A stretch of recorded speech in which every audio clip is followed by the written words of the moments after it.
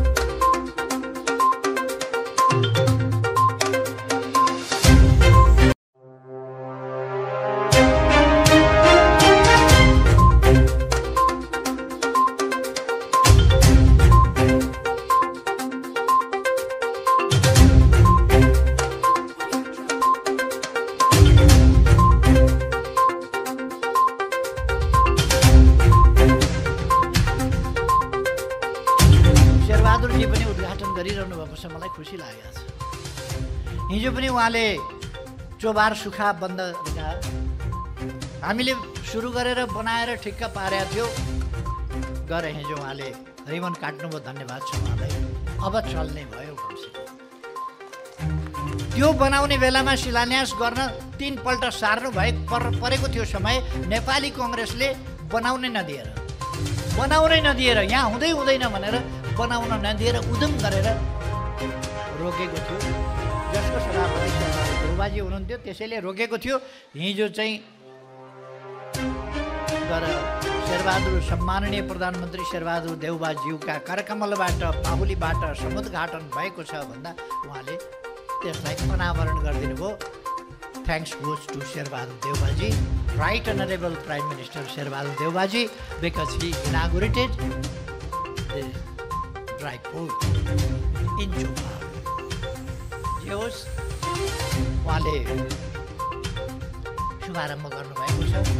उहाँलाई धन्यवाद छ। अरू पनि शुभारम्भ हुँदैछन्। हुन्छन् शुभारम्भ। फेरि हामी पाँच वर्ष सरकारमा बसेपछि शिलान्यास र उद्घाटन कति शिलान्यास हुँदै जान्छन् उद्घाटन हुँदै जान्छन् काम सम्पन्न हुँदै जान्छ देश विकासको बाटोमा अगाडि बढ्दै जान्छ। यो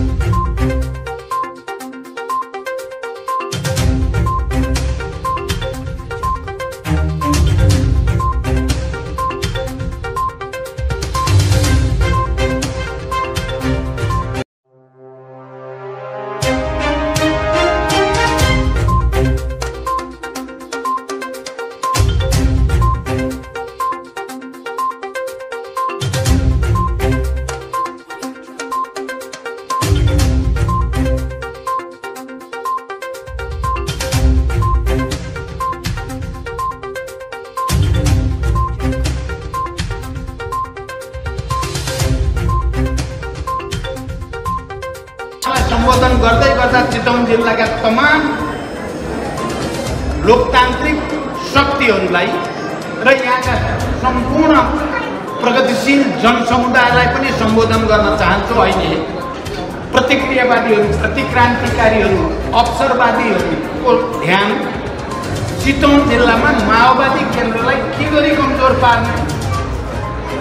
चितवन जिल्लाबाट प्रचण्डलाई के गरी हराउने भन्नेमा छ? तपाईँहरूले बुझ्नुभएको छ कि छैन मलाई थाहा छैन। यो काममा देशभित्रका मात्रै होइन देश बाहिरका शक्तिहरू पनि एक थरी सबै होइन। एक थरी शक्तिहरू माओवादी केन्द्रलाई कमजोर पार्नुपर्छ र मात्रै सम्पूर्ण अधिकार केन्द्रित गरेर निरङ्कुश शासन चलाउन सकिन्छ र विदेशीहरूको हैकन कायम गर्न सकिन्छ भनेर उनीहरूको ध्यान पनि चितवन जिल्लाबाट प्रगतिशील परिवर्तनकारी क्रान्तिकारी शक्तिलाई कमजोर पार्ने दिशामा नै छ अब गरिब हुन मान्दैन स्वीकार्दैन गरिब भइरहन मन्जुर छैन हामी अगाडि बढ्छौँ अगाडि बढ्न सबभन्दा ठुलो इन्जिनको कुरा हो उद्योग व्यवसाय उद्योग व्यवसाय इन्जिनको कुरा हो जब उद्योगहरूको स्थापना हुन्छ त्यसले श्रमिकको श्रमलाई सहज बनाउँछ सहजीकरण अलिकति विस्थापित गर्छ भन्ने पनि छ। विस्थापित गर्छ सुरु। यदि तरिका नमिलाइकन अगाडि बढ्यौँ भने विस्थापित गर्छ। हामीले वैकल्पिक व्यवस्था पनि त्यतिकै गर्नुपर्छ। उद्योगको मसिनीकरण गर्ने र त्यहाँका श्रमिकहरूको उद्योगको आधुनिकीकरण हुन्छ। श्रमिकको आधुनिकीकरण भएन र जहाँ कतै रह्यो भने समस्या। व्यवसाय एउटा कारोबारसँग मात्रै अथवा एक क्षेत्रको कारोबारसँगको मात्रै कुरा गरिराखेका छैनौँ समग्र कारोबारसँगको कुरा गरिराखेका छौँ राष्ट्रको विकाससँगको कुरा गरिराखेका छौँ। नेकपा एमाले समृद्ध नेपाल सुखी नेपाली भनेको छ। नेकपा एमाले भने हो र त्यो। नेकपा एमाले राष्ट्रिय आकाङ्क्षालाई यो त राष्ट्रिय आकाङ्क्षा हो सबै नेपालीको चाहना यही होइन र समृद्ध नेपाल सुखी नेपाली। सामाजिक न्याय र समानता सहितको समृद्धि हामी सबैको चाहना होइन र। जैविक र मानवीय आवश्यकताहरूको न्यायोचित यथोचित ढङ्गको परिपूर्ति। हामी सबैको चाहना त्यही होइन र।